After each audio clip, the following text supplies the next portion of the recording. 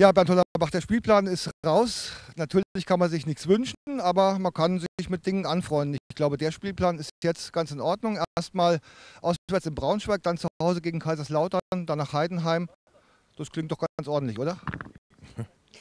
Ja, das klingt sehr ordentlich. Ja, ich denke, ich habe ja gesagt, in der Liga gibt es eine gute Mannschaften und Braunschweig ist eine Top-Mannschaft. Dann erste Heimspiel gegen eine Traditionsmannschaft wie Lautern. Ich glaube, ja, es wird eine tolle Saison.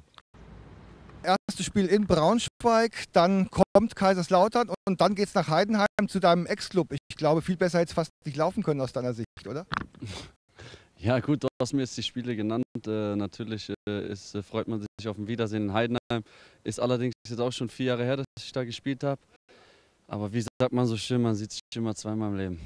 Hast du da, klingt, als ob du noch eine Rechnung offen hättest? Nein, keine Rechnung. Ich habe äh, noch ein paar Bekannte dort, Freunde. Auf die äh, werde ich dann noch treffen, spielen noch ein, zwei in der Mannschaft. Und ähm, ja, ich freue mich dann einfach. Gibt es ein Spiel oder zwei, drei vielleicht, wo du dich besonders drauf freust? Oder sagst du eigentlich alles geil, zweite Liga? Das hätte uns ja so erstmal keiner vorher zugetraut.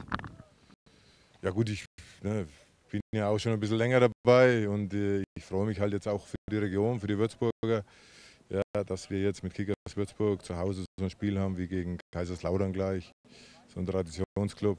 Ja, und äh, ich freue mich eigentlich immer auf den Fußball, ob es jetzt oben war, wenn man, was weiß ich, ne, gegen Valencia gespielt hat oder gegen äh, Juventus Turin, freue ich mich genauso, jetzt, wie wir gegen Heidenheim spielen.